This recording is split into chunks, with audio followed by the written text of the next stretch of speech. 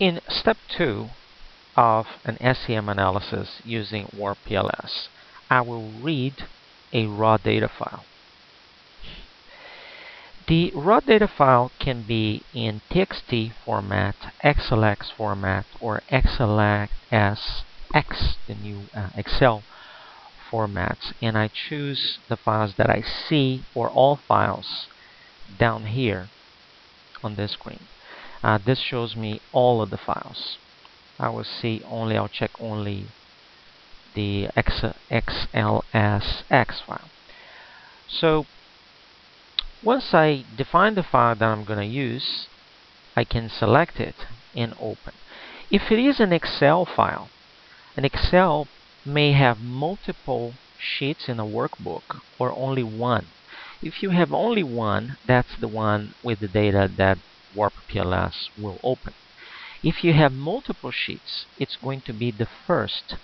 The first sheet on the left or the first sheet of the workbook will be the one open.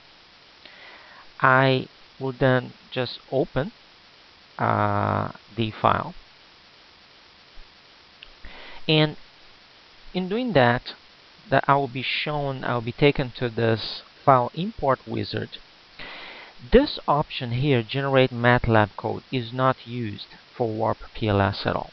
Some advanced users of MATLAB may want to use this option, uh, but currently there is no support for it yet. It's it's an it's a very technical uh, option that some programmers may use. So essentially, uh, uh most users will when they get to this import wizard, they will just click on next and finish. And then the software will show the data in uh, tabular formats and the user then can scroll and browse through the entire data set that was read just to make sure that there are no problems with it. Missing values are accepted and they are shown as NAN cells. There are none here. Uh, the NAN means not a number. Um, and what WarpPLS does later on with those files is it automatically replaces them with the mean of each one of the columns, which is a standard, probably the most widely used approach for handling missing data.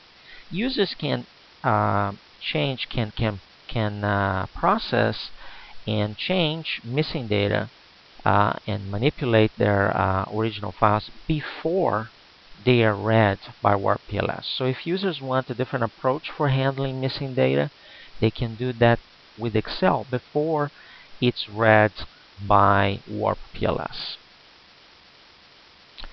This concludes this demo on step 2.